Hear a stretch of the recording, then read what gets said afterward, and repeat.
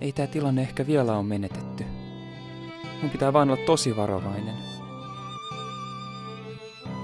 Tota, voisinko mä saada vaikka lisää teetä? Tää lapsi ei oo Veikko. Hei, anna mä katso vähän Veikkoa. Sä tulit tänne, etkä sä kysynyt sen perään, ja sä oot koko ajan yrittänyt puhua jostain muusta. Ei kun mä vaan mietin. Se oli viisi senttiä pidempi, sen hiukset oli paksummat, sen silmät on vihreät ja se osasi kolme sanaa espanjaa. Sillä puhuttiin espanjaa siellä.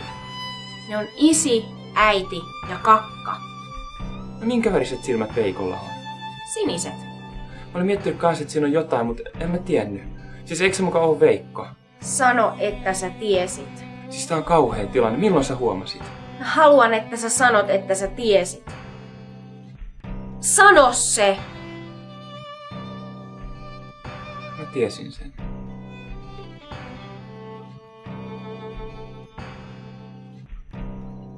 Nyt mun ei tarvitse enää edes peitellä sitä eikä huijata. Me voidaan puhua siitä. Mä pelkäsin tätä puoli vuotta, ei tää ollut niin kauheeta. Eikä mun tarttunut edes sanoa sitä ensin. Mä oon niin pahoillani. Se kävi varmaan lentokentällä. Milloin sä huomasit sen? Miten sä huomasit sen ekan kerran? Älä. Mä leikkasin sen hiukset melkein kaljuksi, kun mä ajattelin, että sä huomaat kuitenkin. Lopeta.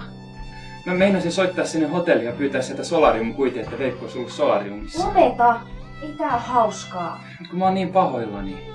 Tajuatko se, että se ei riitä? Ei niin. Ei me voida nauraa Olen niin helpottunut. En mä sais olla, mutta en mä mahda tälle mitään. Mä haluan vaan selittää jotain. Jos toi vaan lähtis yhtään mukaan, pitähän senkin selittää. Sen pitäisi selittää ihan samalla tavalla.